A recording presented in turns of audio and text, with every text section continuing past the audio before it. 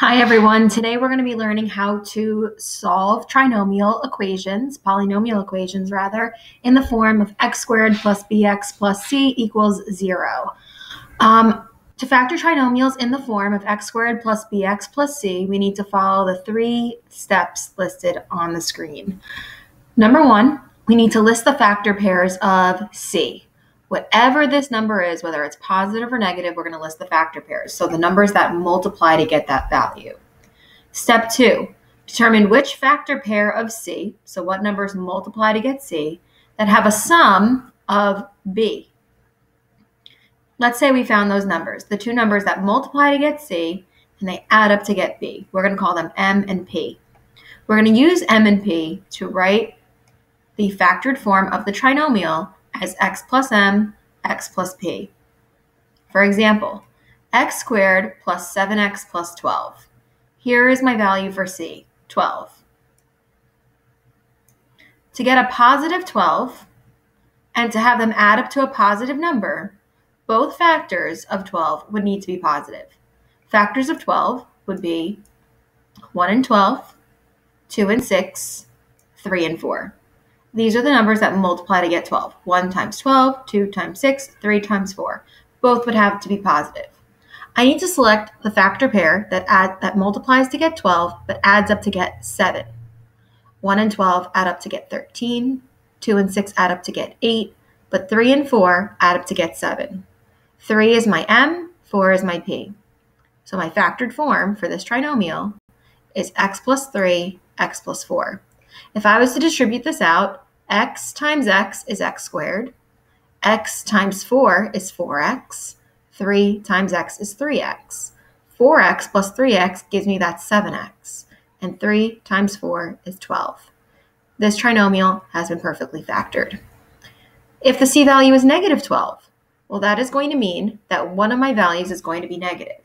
I don't know which one, but I know that when I add them up, they have to add up to get a positive 4. Now, if two numbers are going to multiply to get negative 12, one of them is negative and one of them is positive, the one that is positive should be the greater number because when I do the sum, I need to be left with a positive 4. Factors of 12 do not change. 1 and 12, 2 and 6, 3 and 4. If one of them was negative, a 1 or a 12, I would never be able to add up to get 4. 2 and 6. If the 2 was negative and the 6 was positive, they would add them to get a positive 4. 3 and 4, if I made one of them negative and positive, I would never get a 4 out of. So 2 and 6 is the result. I need a negative 2 and a positive 6. A negative 2 and a positive 6 will add up to get 4, and they will multiply to get that negative 12. If I made it a positive 2 and a negative 6, and my signs were switched, they would end up adding up to a negative 4, which is not what I need. Last one. Multiply to get a 12, but add up to get a negative. The only way to multiply to get a positive and add up to get a negative is if both terms are negative. Factor pairs of 12 do not change, and the only factor pair that I can add up with both negatives and get a negative 13 is 1 and 12. Negative 1 and negative 12. And that is my factored form. If I go back and I use my multiplication skills to distribute, like I did in this top problem here, I'd be able to prove that this trinomial is in, is in fact factored this way. Here are a bunch of practice problems. Don't feel overwhelmed by your screen, but you can follow along with me or write them down as we go, and feel free, obviously, to pause. So I would look at my factor pairs of 1. Factor pairs of 1, the only way to get 1 is 1 times 1. What kind of 1s would add up to get 2. They would both be positive. So it's positive 1, positive 1. 1 times 1 is 1. 1 plus 1 is 2. Now, we know that when we multiply a binomial by itself, it really means that that binomial is being squared. So this is a great way to represent that solution. Factors of 10. 1 and 10, 2 and 5. The factor pair that multiplies to get 10, that would add up to get 7, is a positive 2 and a positive 5. 2 times 5 is 10. 2 plus 5 is 7. The other factor pair of 10 would be 1 and 10, and I definitely could not get a 7 out of a 1 and a 10. 36, factor pairs of 36. 1 and 36? No. 2 and 18? Nope. 3 and 12? Nope. 4 and 9? Yes. 4 times 9 is 36. 4 plus 9 is 13. Sorry about that. so my result is x plus 4, x plus 9. Next one, 18. I need to get a positive 9. 1 times 18, no. 2 times 9, no. 3 times 6, yes. 3 times 6 is 18. 3 plus 6 is 9. Now a negative 18. So once I see that the c value is negative, it means one of my terms needs to be negative. I need to get the sum of a positive 3. 1 times 18 will not work. 2 times 9 will also not get me a 3. 3 times 6. Now, we used 3 and 6 positive in the previous problem. But one of them needs to be negative so that when we add them up, we get a positive 3. If I make the 3 negative, x minus 3, and I make the 6 positive, then my result would be that these multiply to get negative 18, and they have a sum of positive 3. 20, negative. So I need one positive, one negative. It has to add up to 1. Remember, there's really a 1 in front of that x. Will 1 times 20 get me a 1? No. 2 times 10? No. 4 times 5? Yes. What kind of 4 and what kind of 5 do I need so that they add up to give me positive 1? A positive 5 and a negative 4. Now, Order does not matter, by the way, guys. You can write x plus 2, x plus 5, or x plus 5, x plus 2. Same thing here. You could have these reversed. You could have x minus 4 first and then x plus 5 second. That does not matter, but the signs matter. So the positive sign must go with the 5, the negative sign must go with the 4. 16. I need to fit, find the factor pair that gets me 6. 1 and 16? Nope. 2 and 8? Yes. One of them needs to be negative, so I get a positive 6, a positive 8, and a negative 2. Those two numbers add up to get 6. They multiply to get negative 16. Negative 21. I need a 4. 1 and 21? Nope. 3 and 7? Yes. I need a 3 and a 7. That will add up to get 4. So again, I'm thinking about my 3 and 7. Which one would need to be negative? The 3 would need to be negative, the 7 would have to be positive. That way, again, they add up to get 4 and multiply to get negative 21. x squared plus 4x plus 4. Factors of 4 are 1 and 4, 2 and 2. Only way to add up to get a positive 4 is if they were both 2's. And we saw from a previous problem that if I have x plus 2, x plus 2, that really means x plus 2 squared. Negative 13. The only way to multiply to get 13 is a 1 and a 13. I need them to add up to get a negative 12. Positive 13, negative 1. 13 and a negative 1 add up to get positive 12. They multiply to get negative 13. Now, 24 can be a tricky one. Factor pairs of 24 to get me negative 14. 1 and 24, no.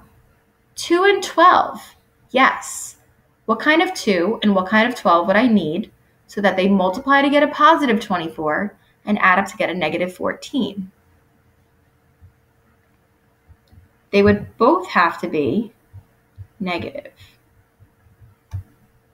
Okay, they would have to be negative. So sometimes we can find that there's factor pairs that may deceive us a little bit, or we may think that there's something else that may work. Two, to add up to a negative 3. The only way to get 2 is a 1 and a 2. To get a negative 3, they would both need to be negative. A negative 1 and a negative 2 add up to negative 3, and they multiply to get that positive 2. Only way to multiply to get 1 is 1 times 1.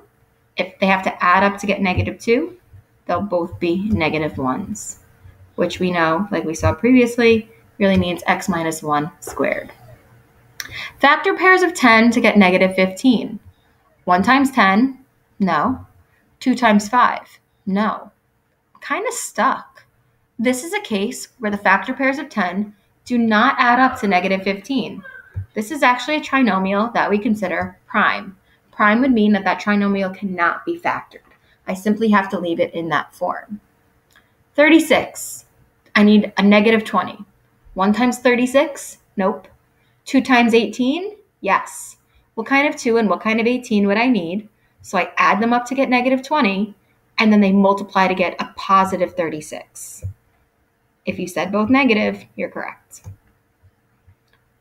Another 24. Now, this is the 24 problem that's really interesting based off the other 24 problem. To get negative 14, we only had one option. But look now, to get a negative 10.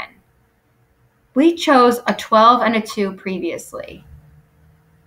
Here, if I'm looking at factor pairs of 24 to get a negative 10, I would say 1 times 24, no. 2 times 12, yes.